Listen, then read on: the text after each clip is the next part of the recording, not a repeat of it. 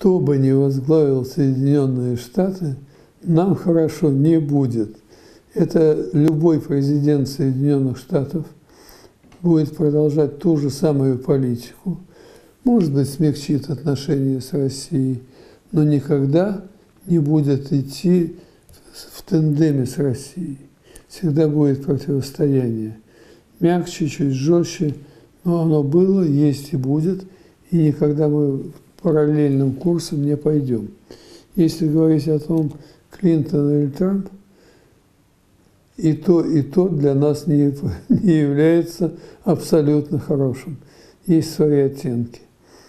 У Клинтон, безусловно, большая обида личная на своего собственного мужа.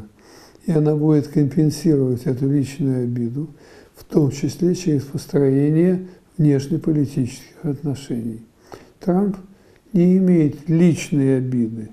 У него свои взгляды, свои представления и огромный финансовый потенциал. И его задача – реализовать себя. Он, я бы сказал так, в хорошем смысле этого слова, амбициозен. Он хочет показать себя как сильную личность. А Клинтон хочет реабилитироваться в глазах за все те мучения, которые она претерпела, пока ее муж был президентом. И вот эта личная составляющая весьма несимпатична.